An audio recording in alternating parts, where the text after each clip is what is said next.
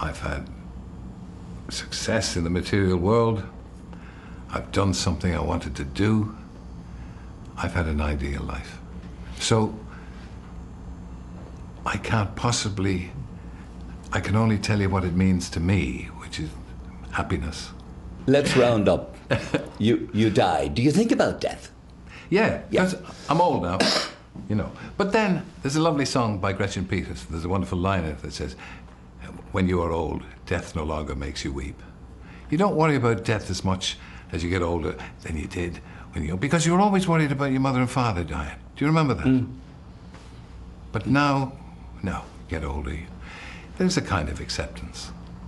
Hopefully, I'll cling to the wreckage as long as I can. Indeed. And when you die, gone. Yeah, Okay. Comeuppance. I don't believe in heaven, and I don't believe in hell.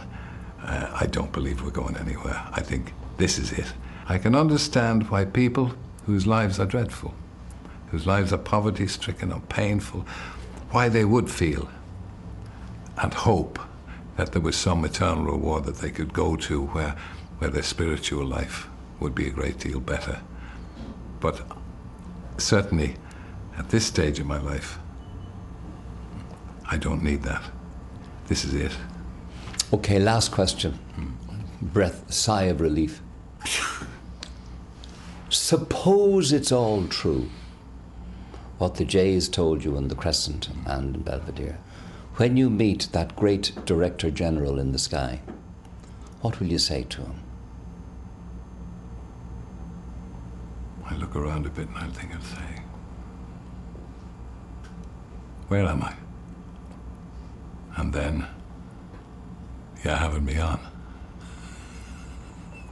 I don't believe this. but I'll take it if it's there. Won't we all, dear? Won't we Oh. all? Thank you very much. My pleasure. Thank you, Gay.